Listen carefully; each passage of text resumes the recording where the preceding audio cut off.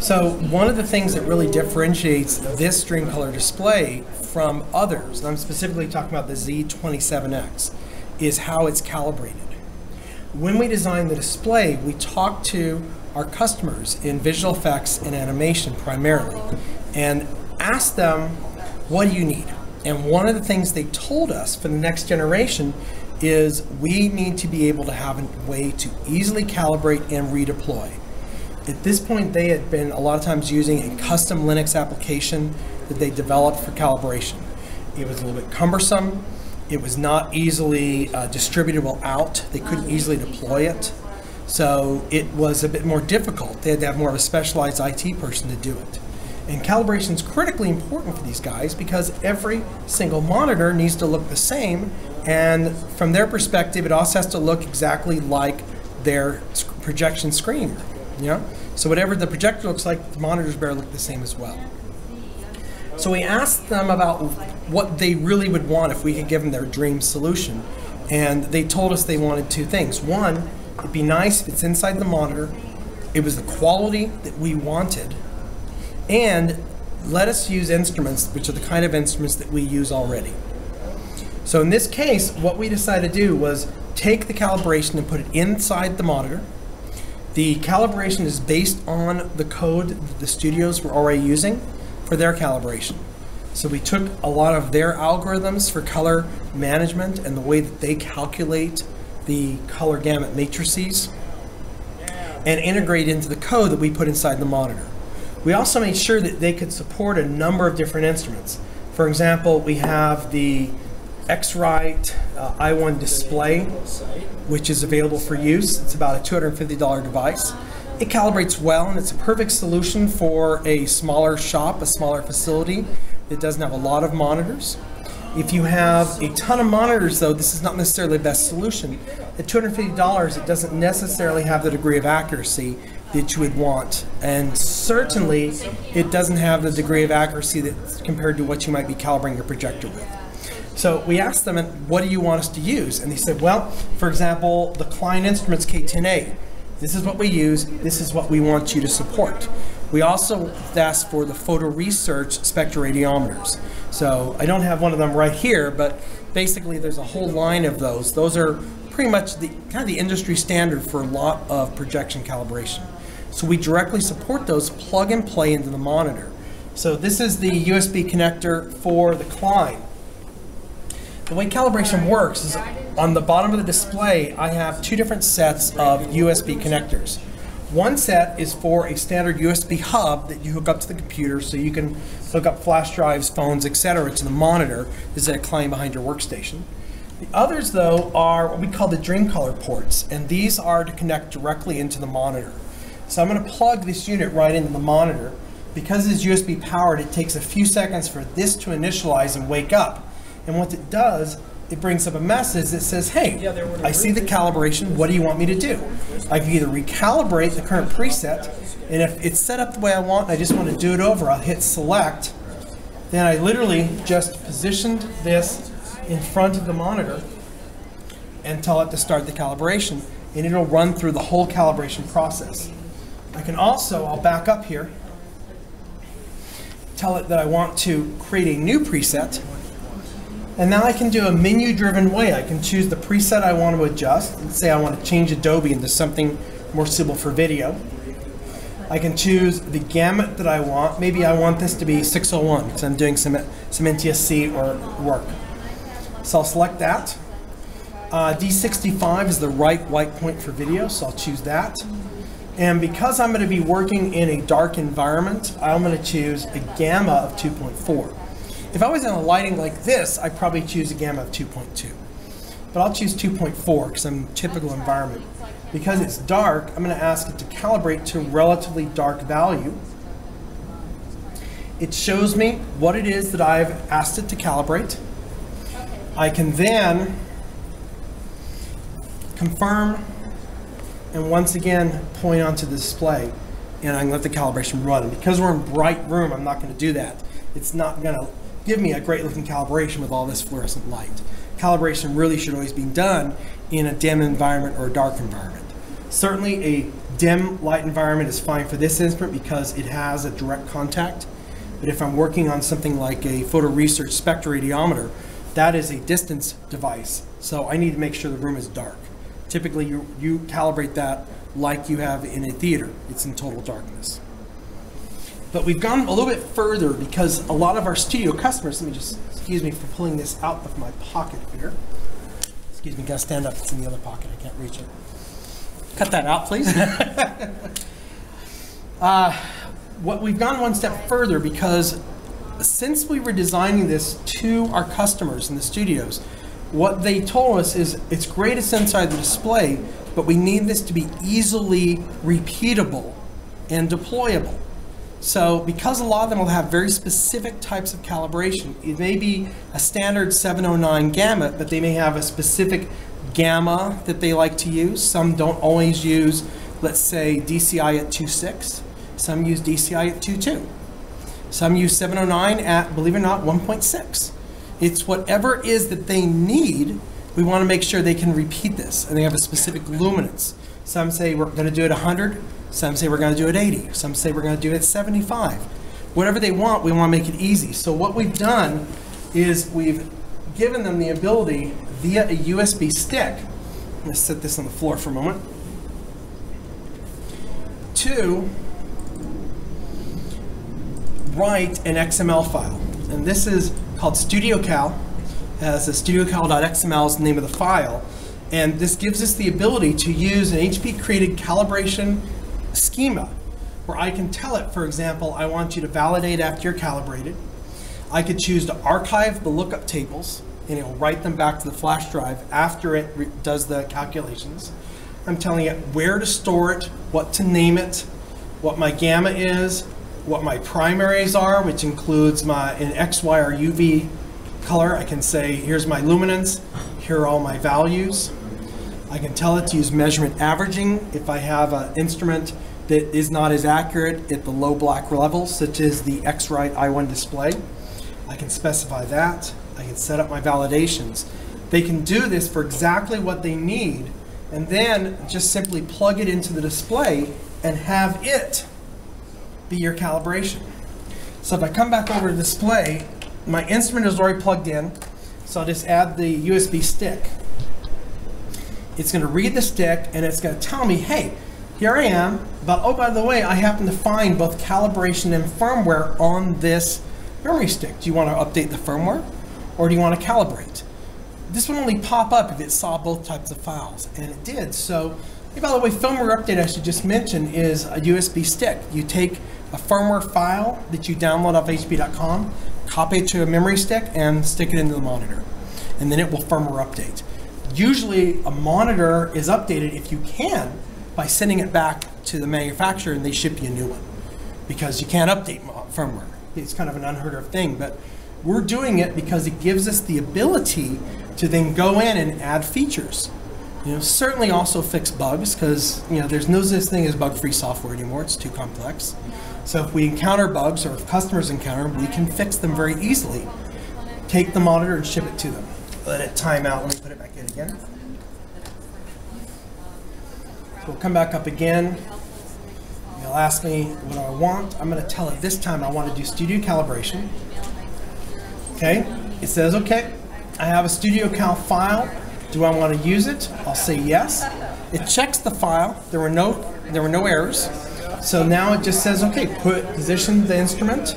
I put the instrument over the target, or if it's a distance measurement device, I just aim it at the target, and I choose start calibration. And then the calibration is going to run.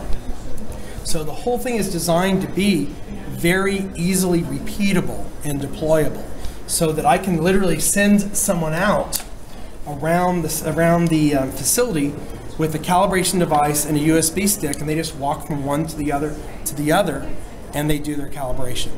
So it makes it a whole lot easier to do.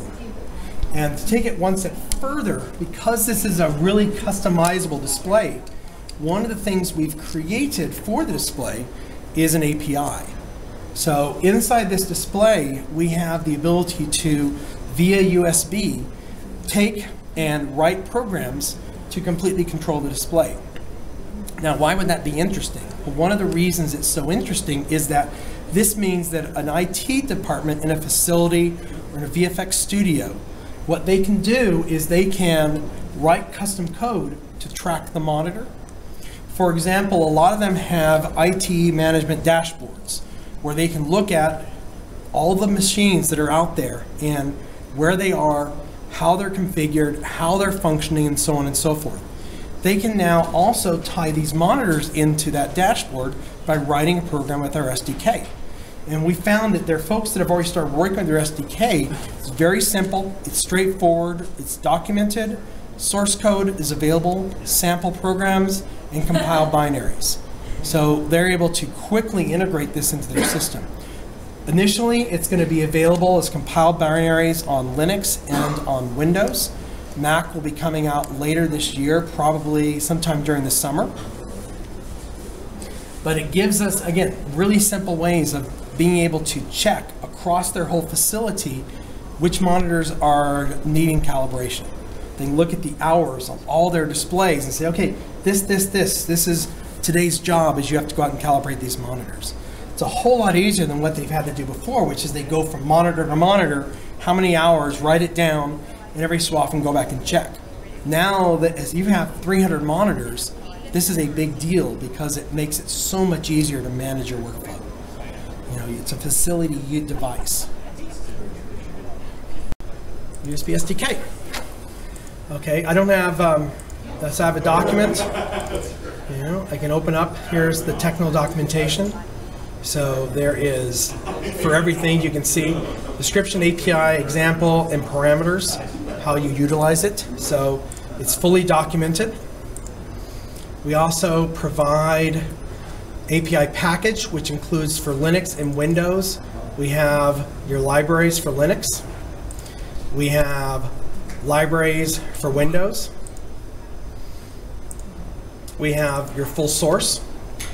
So I can actually look at any of these source files and I can find out, you know, sample code. For example, if I, on the API, let me, it doesn't have a program to use, I'll just use Notepad.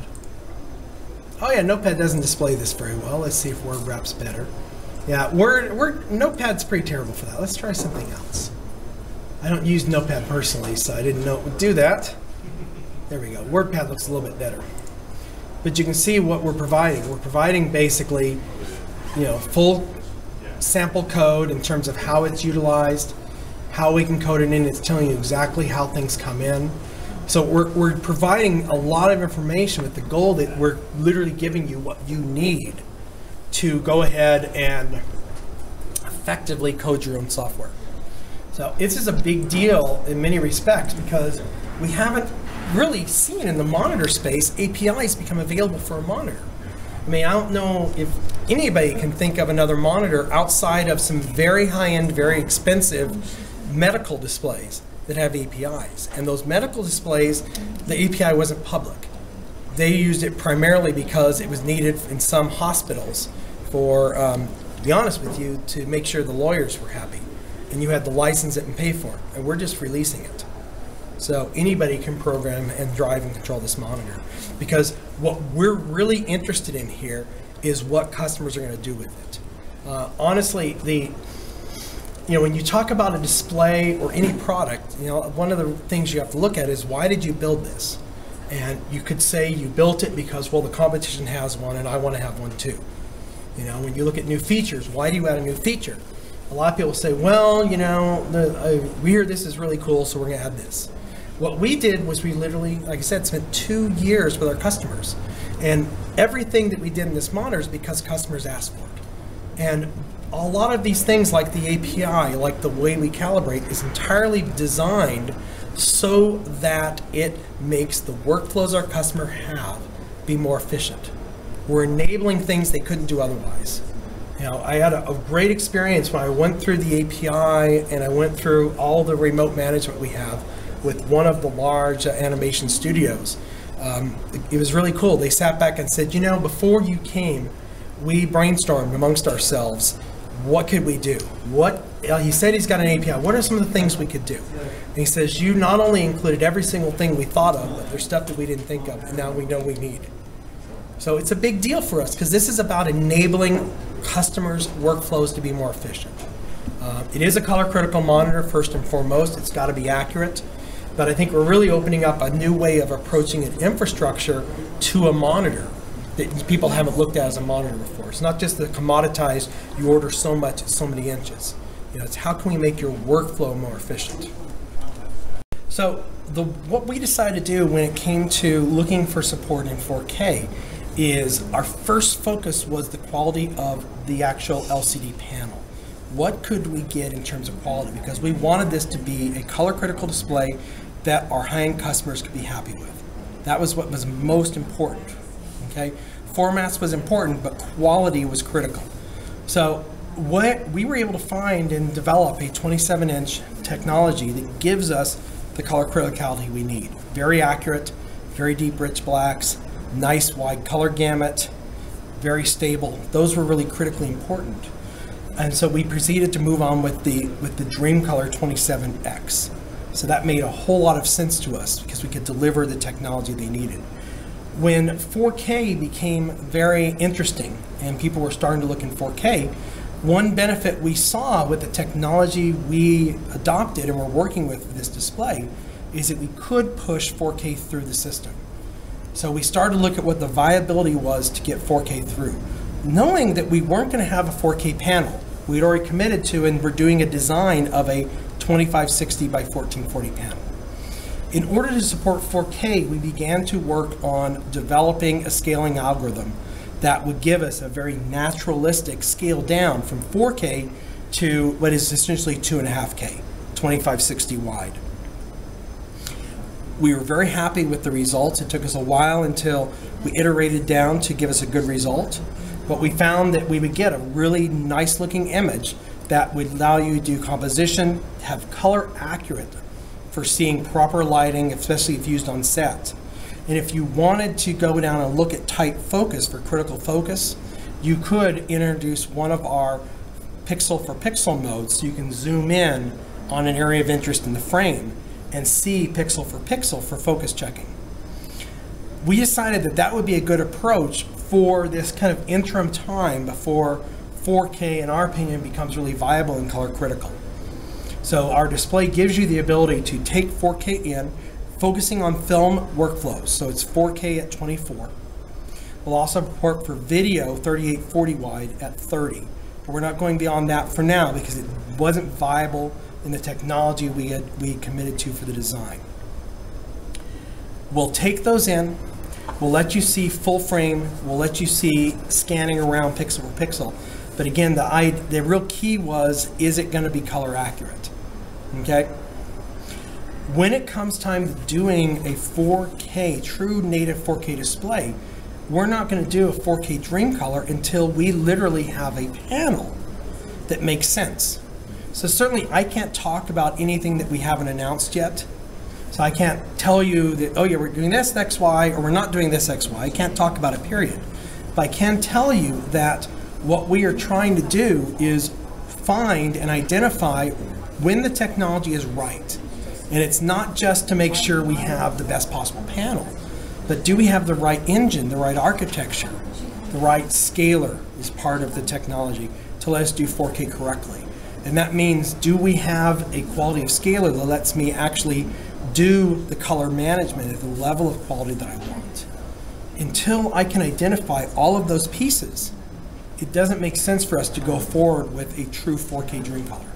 Because we're not going to just slap a label on a 4K display and say, hey, look, it's color critical. Because if we're not confident that our highest end customers will agree with that, there's no point in doing it.